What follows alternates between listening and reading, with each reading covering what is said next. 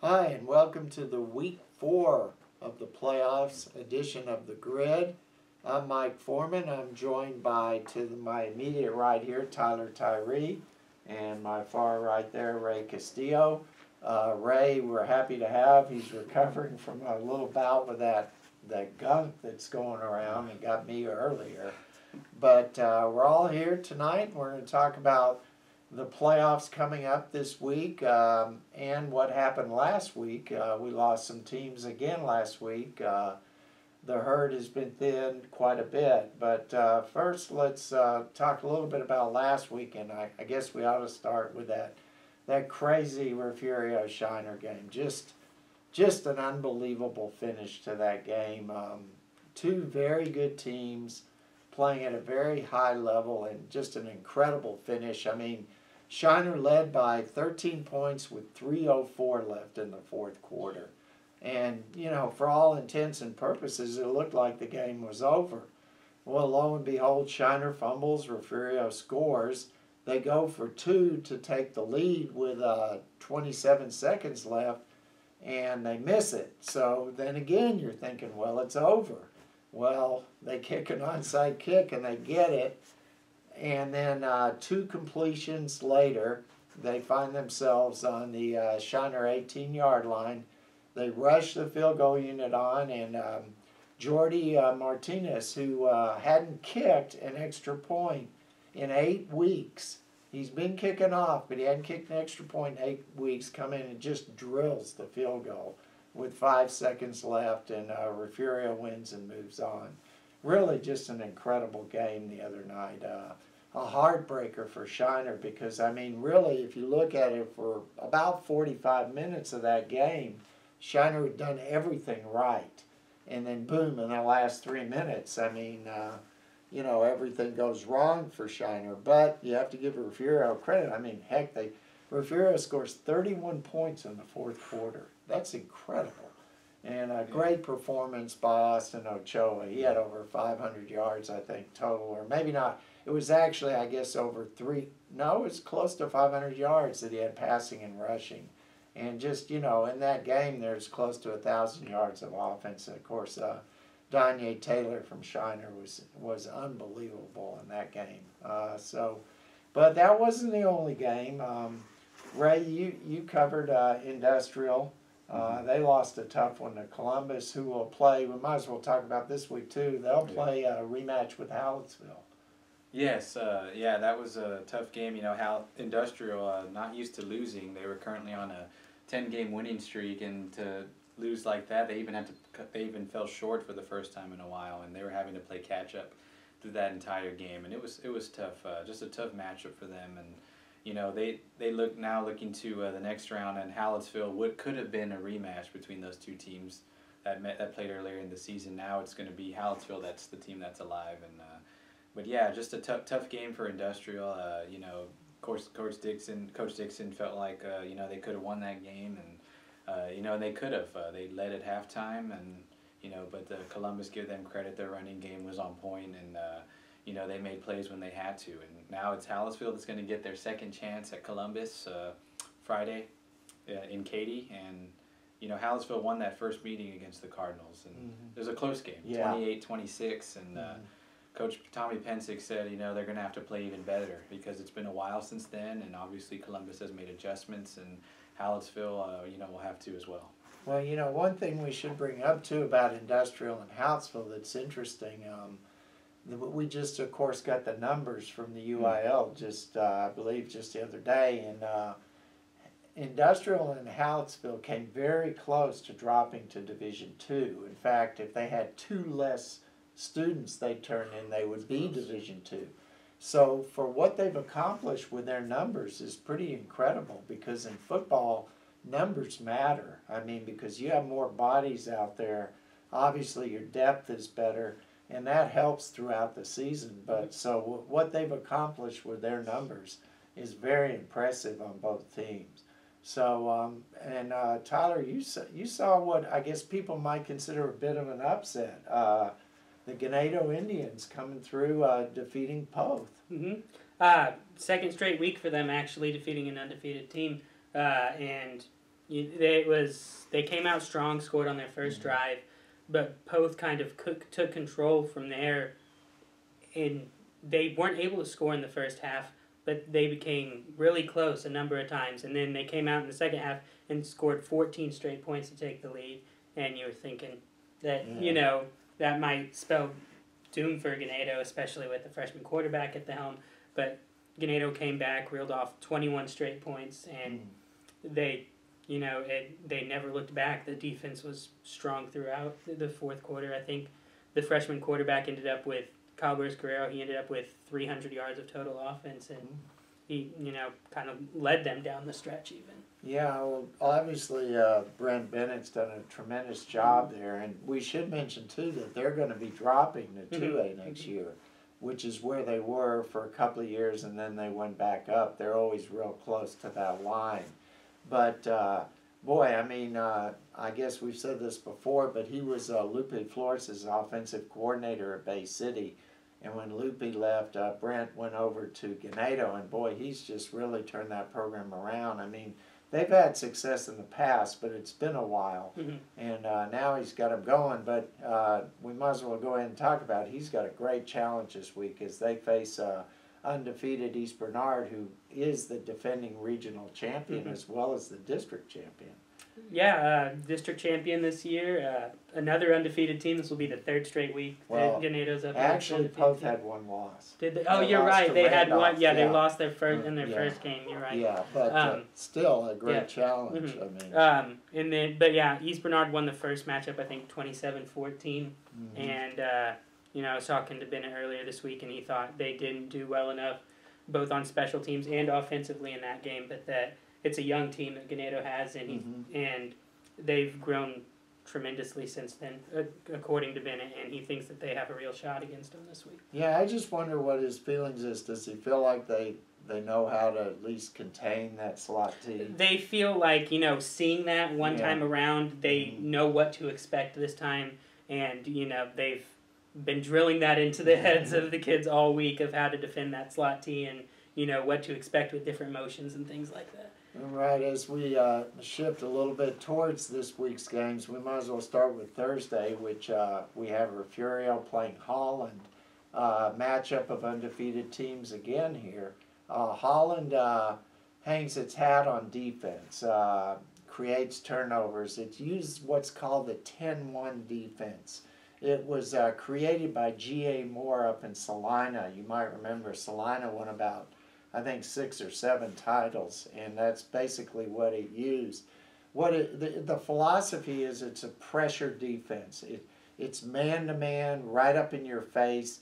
The 10 1 signifying they have like one deep safety. So, on the flip side of that, though, if Refugio can execute and exploit it, it is vulnerable to big plays because obviously, if you put that much pressure on, you're leaving yourself, you know, open there if somebody gets loose. And I think that's what Refugio is hoping that they can exploit that. And that'll be the key. And of course, the other key for Refugio is coming off such an emotional win like that on a short week. Mm. That's tough. I mean, last year it caught up to them. They, uh, and, and I mean, to be fair, Mason was the state champion, and Mason had an excellent team and, and beat them up front on both sides of the ball. But Refugio did not play his best game in that game, and uh, of course they lost. Uh, Ochoa sprained his ankle. He was able to play, but he wasn't effective as a runner, which is a big part of their game. So uh, you know, I I think uh, Coach Herring, Jason Herring, who we should mention, I guess was the Dave Campbell's Texas Football 2A Coach of the Week this week. I know he's drilled that in their heads this week that hey, you got to be focused on Holland shiners, you know, put that in the rearview mirror and let's uh, let's move forward because uh, that's what they're going to have to do this week. And then, uh, of course, we have some games on Friday. Uh, Rey, you mentioned it earlier, the uh, Hallettsville uh, Columbus rematch. The Brahmas, um, you know, Columbus, you said is a better team, but I, I got to think Hallettsville's a better team right now, too. Yeah, both of those teams are playing just so well, especially Hallettsville. Uh, you look at, and we talked about it earlier, the numbers. Um, what Hallettsville's been able to do with just 21 players right now on the varsity roster is just uh, it's just phenomenal. And uh, you know, you look at coming over from last year, not even making the playoffs, and none of the players knew what to expect this year. And uh, for them to be here in the quarterfinals is, is pretty impressive. And it's the first uh, quarterfinal appearance for them since 2016. And, uh, you know, a trip to the semifinal, it's been a while for Hallettsville, um, 1976 to be exact, since the last time they've, you know, reached that far. But I know they're focused on uh, Columbus now before they even think about that. But, but yeah, it's a rematch of week four. Um, Hallettsville came away with a close game there, 28-26, and both teams uh, have improved so much since then. And Coach Pensick, like I said earlier, he wants them to be ready because he knows it's not going to be the same Columbus team. And Hallettsville feels like they're not the same Hallettsville team either. Uh, just the progression of uh, Jonathan Brooks throughout the season, just he's played so well, especially in the playoffs. Has 11 touchdowns, and Lane Linhart is just uh, maturing as well in his senior year. So these players are, are going to be ready, and uh, they've shown that so far in the playoffs. Right, and I think the big thing there is Hallettsville, you know, that win over Columbus, I think that kind of woke people up to Hallettsville. I mean, uh, you know, after coming off last year where they didn't make the playoffs, um, and then coming into district, that was a huge win for Hallettsville because it showed, you know, what kind of team it had. And then, of course, uh, the Brahmas proved it during district, you know, when they finished in that three way tie. So that was a big eye opener for them. Uh, I guess too. Um, it's interesting though that uh, that they would go to Katy. I, I kind of figured you know they they play in El Campo or somewhere, but Yeah. that'll be fun. I mean that's a tremendous stadium. Uh, that's where uh, Quail played Silsbee last year in the semifinals. Really nice stadium. It's almost like you're indoors. Really, it seems like, but it's uh, it's a great venue. I, I'm sure the kids will like it and uh, a great chance for Hallettsville, you know, to get in the semifinals. And if they do, there's a chance they could see the defending state champion Grandview because Grandview beat uh, Cameron Yoe last week, Mhm. and uh, they look every bit as tough as they as they were last year. And let's turn to, to Ganado right now. We did talk a little bit about East Bernard. Uh, they're also doing some traveling, aren't they? Going over to Alvin. Yeah, absolutely. Yeah, they'll be playing uh, at Freedom Field in Alvin on Friday, and Okay. um, and it's yeah, it's a huge stadium, and I'm sure all the kids are really excited Yeah. about it. Yeah, and I guess uh, Coach Bennett. I, I mean, uh, you alluded to this uh, last week, though, but this is something that Ganado has been Mhm. kind of looking Yeah. forward to, right? Absolutely. I mean, uh, the kids. They. I didn't even have to ask them the Yeah. question. They. They all brought it up. They wanted East Bernard. They've Mhm. been looking forward to this chance since they've lost that game, and uh, you know it's been a driving factor in you know wanting to advance is having a second chance at this team and you know ending their undefeated season. Right. And the other game we have Friday night, we have the uh, Fall City Beavers playing the Bremond Tigers, and that'll be in Pflugerville. Uh, Fall City, of course, uh, ever since it lost to Poth in the second week, has come on, just been annihilating people in the playoffs. I mean, they jumped on people right away. But uh, I spoke to Coach Hart, and uh, he doesn't feel like that's going to be the case with Bremond. Bremond and Fall City probably in Division Two have as much tradition as anybody. Um, so this will be a game between two teams who are used to being in this situation. Um, and of course, Fall City, uh, Brady Lissy has just had an incredible year. Uh, he's played almost every position for them, every skill position you can imagine. Does a lot of things, and then the emergence of the the uh, freshman quarterback, or I mean the sophomore quarterback, excuse me, has helped them a lot too. Jackson has come on, Jackson Pipes, and uh, come on, and that allowed Brady to move back to running back, which gave him another threat. Um, Fall City will be ready, uh, but Bremond's a very good team, and uh, whoever moves on is likely to see Mart. And you know, Fall City lost to Mart last year in the semis, but uh, I'm sure they're hoping for another crack at them. But they first they'll have to get by Bremond. And then let's move on to Saturday. We have a couple of local teams uh, who are used to playing either in Shiner or Hallettsville, but they're going to go up to uh, Hewitt Midway and to meet for for a TAPS Division Four state title. Uh, Shiner St. Paul and Hallettsville Sacred Heart. Uh, St. Paul won the game between the two teams. I think it was it was by seven points, so it wasn't a blowout by any you know by any stretch of the imagination. Um, you know, uh, St. Paul is, uh, th- they are, you know, defending state champs, and uh, you expect them to be there. Sacred Heart, though, has really come on in the uh, latter part of the season. Uh, their new coach, Manny Freeland, who, uh, by the way, played uh, quarterback at Edna.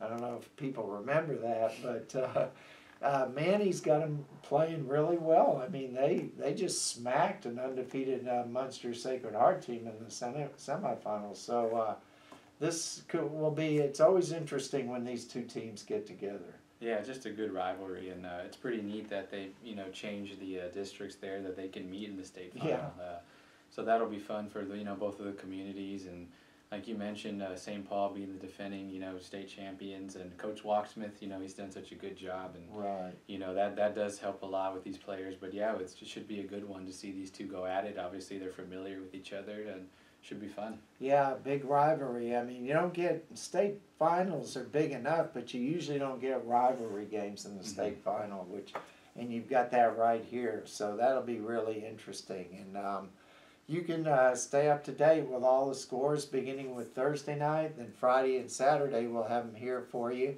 You can follow us on Twitter. You can watch Avo Sports, and of course you can read about it in the paper or in the e-edition. We have it all for you and we're hoping we're hoping that there'll be some teams to talk about next week. That's not a guarantee at this time of year, but you know here we are December, and uh, we've got uh, quite you know what five teams or actually I guess six teams playing uh, December football. So uh, that's impressive, and um, you know we'll see. Hopefully that somebody can stay alive for next week, and we'll be back with another edition of the Grid.